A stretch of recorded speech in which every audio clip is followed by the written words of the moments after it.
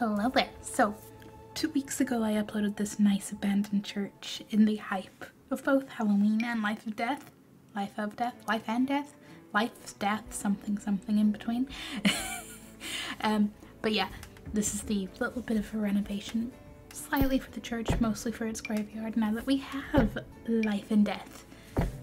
It's definitely a renovation working with what I already have. I look forward to building like big, actual, big graveyard cemeteries. But this is just this little old church's little graveyard getting a facelift. And I think it's sizable enough as long as you're not, you know, a Black Widow or a mega huge family legacy player. If you just have a few Sims that have passed away, small family, be fine. Just need somewhere for your vampire to hang out that isn't home, also fine. Um, yeah, this bit is a lot of me replacing lights and replacing rugs and oh, this desk would look better than that and setting up a little bit of a funeral you know, area up at the end of the rug, up at the. I mean, it's not a stage, but for lack of a better word, stage area, if there was a stage. I don't know what has made that puddle, but that is not the point. I'm very excited about the graveyard. I just, I love the ability to make all the little personal touches. I already feel like even though all these grave sites are unoccupied, there's so much personality for what Sims could be residing in them. Which is, okay, yes, I, I'm excited about having graveyards and funerals, but I'm definitely have been more hyped for all the occult player type stuff coming with life and death. But build, building this is making me even more excited to be like, oh, all of the things you can place in a little grave and the little ghost in a jar. And I saw the wallpapers and I can't wait to build an actual house with this because I need all of those crows and lunar moths and owls on like every wall in my house, but it's fine. It's fine.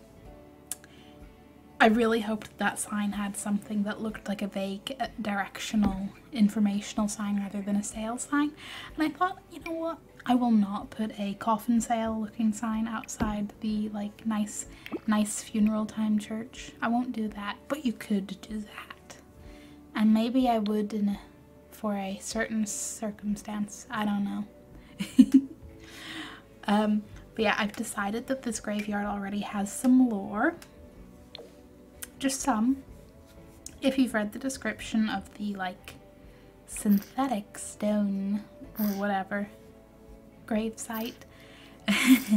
well, its description is fun and definitely leaves you with questions, and I've decided that that's going to also have questions. Also, shout out to the hidden, hidden tarot tent hidden behind the church. So you know, just whatever your Sims need, it's it's there.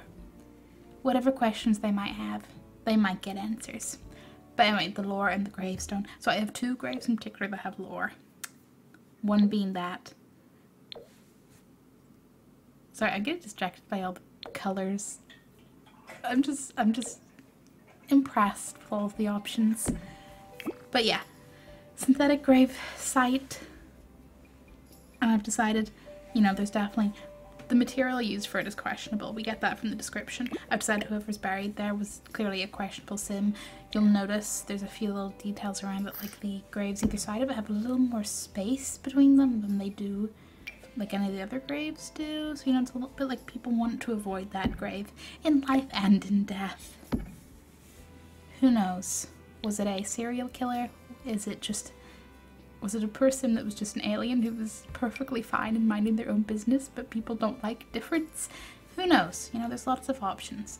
And then I have a nice little, there we go, abandoned, forgotten grave at the back. But you know, I like to think either a regular graveyard visitor or perhaps like the graveyard keeper keeps placing a little plant out by their grave that, you know, nobody might remember whose grave it is or know anything about the sim buried there. But, you know, they're, they're, they're still thinking about the grave and going, you know, you, you deserve a nice little flower too. But yeah, it's, it's a simple enough little graveyard. It's like eight, nine graves outside the crypt. Nice little memory area the little forgotten one. I've decided the grave up beside the crypt is, I don't know if you can hear that, but say hi to my aggressive radiator. but i beside the little grave beside the crypt is, you know, definitely a little vampire's grave. May or may not be occupied or not occupied, but it's fine. And the llama topiary because I just, you know, felt like a lack of llamas.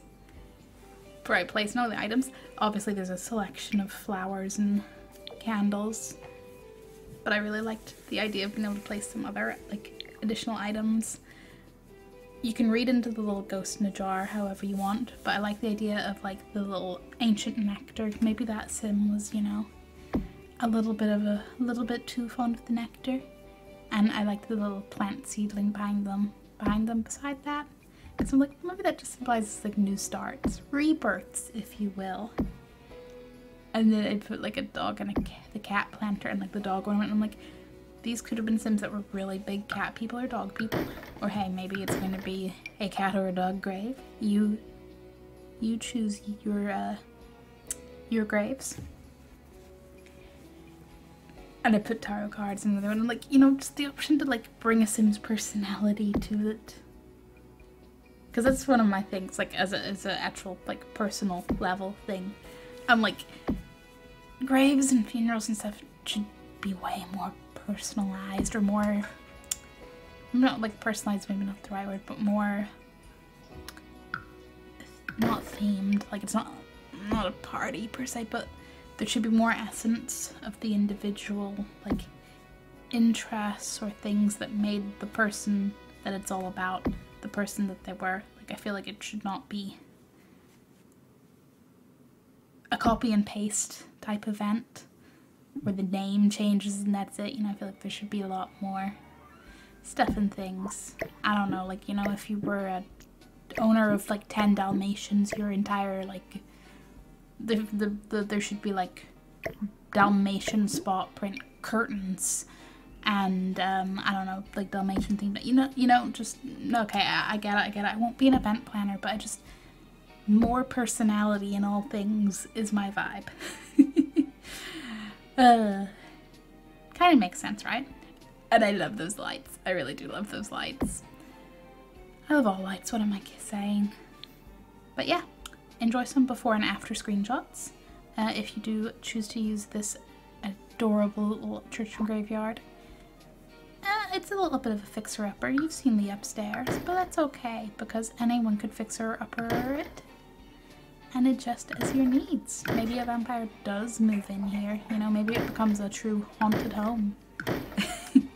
but either way, thank you for watching. This is on the Sims Gallery if you would like. It is Abandoned Church L and D, but I'll put a link below. And if you search the Abandoned Church for the previous one, you'll you'll find me. My ID is Shrimpchu. Thanks for listening to my wonderful little ramble. Please tell me how you're building things with life and death. And until next time, bye.